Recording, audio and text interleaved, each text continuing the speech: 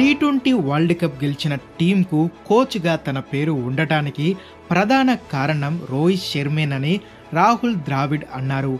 Match అనంతరం dressing రూమ్లో జరిగిన సమావేశంలో ఈ వ్యాఖ్యలు చేశారు. ఉత్సాహంగా ఉల్లాసంగా చదువు సాగాలి.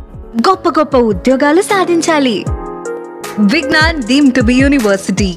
Rahul Dravid అసలు ఇలా ఎందుకన్నారంటే రెండు వేల ఇరవై మూడులో వన్డే వరల్డ్ కప్లో టీమిండియా ఫైనల్లో ఆస్ట్రేలియా చేతిలో ఓడిపోయింది. సొంత గడ్డపై చివరి అడుగులో కప్ కోల్పోవడంపై రాహుల్ ద్రావిడ్ చాలా బాధపడ్డారట.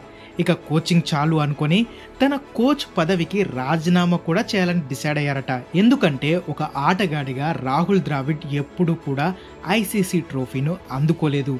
దీంతో కోచ్గా అయినా సరే ఆ కళను నెరవేర్చుకోవాలనుకున్నాడు. ఇండియా ఏ టీంకు కోచ్గా ఉండి దానిని అద్భుతంగా తీర్చిదిద్దాడు. ఆ నమ్మకంతో ఈయన కోచ్ పదవికి దరఖాస్తు చేసుకోవడం కాదు. కోచ్ పదవే ఈయనను వరించింది. కోచ్గా అనిల్ కుంబ్లే రవిశాస్త్రి టైం పీరియడ్లో కొన్ని సమస్యలు తలెత్తాయి.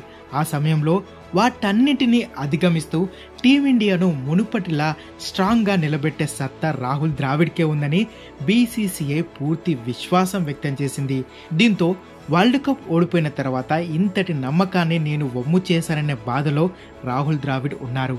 కానీ ఆ సమయంలో రోహిత్ శర్మ అండగా నిలబడ్డాడని ద్రావిడ్ అన్నారు. మ్యాచ్లో విజయాలు అపజయాలు కామన్. కానీ మీ సేవలు టీ ట్వంటీ వరల్డ్ కప్ వరకు అవసరం. కనీసం అప్పటి వరకైనా కొనసాగండి అంటూ రోహిత్ శర్మ ఫోన్ చేసి చెప్పడంతో రాహుల్ ద్రావిడ్ మనసు మార్చుకున్నారట. ఒక కెప్టెన్ కోచ్ మధ్య భేదాభిప్రాయాలు ఎన్ని ఉన్నప్పటికీ రోహిత్తో మాత్రం పర్సనల్ బాండింగ్ వేరే లెవెల్లో ఉంది అన్నట్లుగా రాహుల్ ద్రావిడ్ చెప్పుకొచ్చారు. రోహిత్ రాహుల్లకు అంత మంచి బాండింగ్ ఉన్నందుకే కదా కొన్నాళ్ళుగా గ్రౌండ్లో అయినా డ్రెస్సింగ్ రూమ్లో అయినా అద్భుతమైన వాతావరణం ఏర్పడింది ఆటగాళ్ళ మధ్యలో.